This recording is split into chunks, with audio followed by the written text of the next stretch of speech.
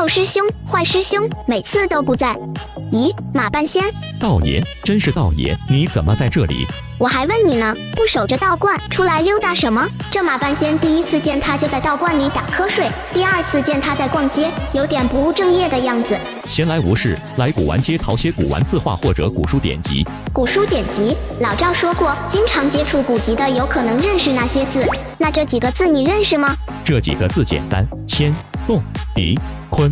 你怎么认识这些字的？道爷，我可是麻衣神香派，既要上识天文，下识地理，还要懂风水堪舆、五行八卦，接触的全是生涩难懂的古文字，认识这些符箓文，岂不是小意思？哈哈，你教我识字怎么样？我请你当。不行，这老道的道行这么低，怎么可以当我的识字先生？我请你当我的伴读怎么样？教我识符箓文。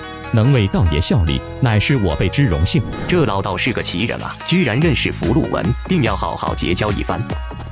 道爷，我俩也想学，不知可否一起加入进来？马半仙是来给我当伴读的，你俩过来又是什么身份？这，道爷，我俩愿意当老书童。刀枪不入，果然是奇门遁甲，可有什么破解之法？凤总，对付这种奇人奇事，还得找世外高人来对付才行。我已经打听过了，这世上有一个宗门，名为魔道门，收钱便会办事，极其有信用。魔道门，那就去请。钱不是问题，只要能帮我们解决麻烦。三千雷动诀，这难道是一门功法的口诀？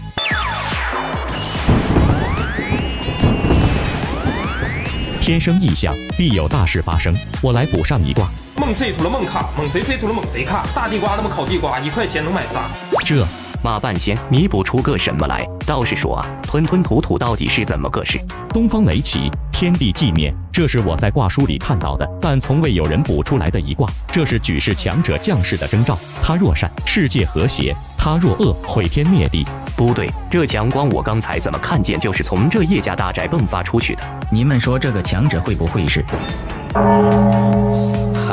这次押宝押对了，柔柔啊，你可给了师傅太大的惊喜。徒儿们，我缥缈仙宗崛起之日就在眼前了，不要再做过多的牺牲，保存实力。如若上古护宗大阵被破，大家化整为零，分散四方，直至天书传人惊绝天下。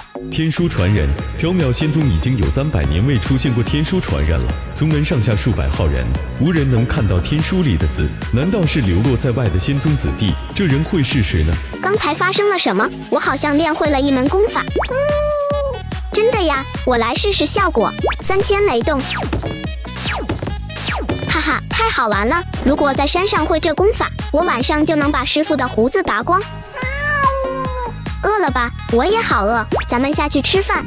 道爷，刚才天生异象，道爷可曾感知？这几个老头居然想试探我，当我是三岁小孩吗？天书的秘密怎么可能让你们知道啊？天生异象了吗？我不知道耶，我刚才在睡觉觉。